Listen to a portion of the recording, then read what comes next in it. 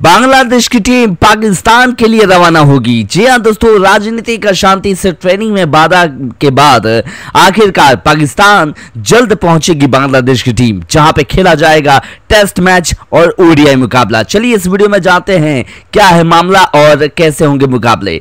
दरअसल बांग्लादेश आईसीसी विश्व test championship के अंतर्गत पाकिस्तान से दो टेस्ट मैच की श्रृंखला खेलेगा। पहला टेस्ट मैच इक्कीस से पच्चीस अगस्त खेला जाएगा रावलपिंडी में, दूसरा मैच जो खेला जाएगा वो तीस अगस्त से तीन सितंबर तक कराची में होगा। पीसीबी के मुख्य परिचालन अधिकारी जो है, वो बिल्कुल बताते हुए नज़र आए सलमान नसीर की। एक बहुत ही बड़ी जो है मैचेस होने वाले हैं बांग्लादेश से और बांग्लादेश की टीम पाकिस्तान आएगी। पाकिस्तान क्रिकेट बोर्ड ने घोषणा कर दिया कि बांग्लादेश की सीनियर क्रिकेट टीम तेरह अगस्त को पाकिस्तान पहुंचेगी, क्योंकि घरेलू राजनीतिक अशांति के कारण उनकी दो मैच की टेस्ट सीरीज़ की ट्रेनिंग बाधित हो गई है। बांग्लादेश की बात करें तो पाकिस्तान की टीम इंतज़ार कर रही है, जानते हैं कि बहुत ही इंपॉर्टेंट रहने वाला है और बांग्लादेश आईसीसी विश्व टेस्ट चैंपियनशिप के अंतर्गत पाकिस्तान से दो टेस्ट मैच की श्रृंखला खेलेगा। पहला टेस्ट मैच 21 से 25 अगस्त और दूसरा रावलपिंडी में खेला जाएगा, जो कि 30 अगस्त से तीन सितंबर तक कराची में खेला जाएगा। पहला रावलपिंडी में और ये कराची में खेला जाएगा। तो मुकाबला बहुत शानदार होता नज़र आएगा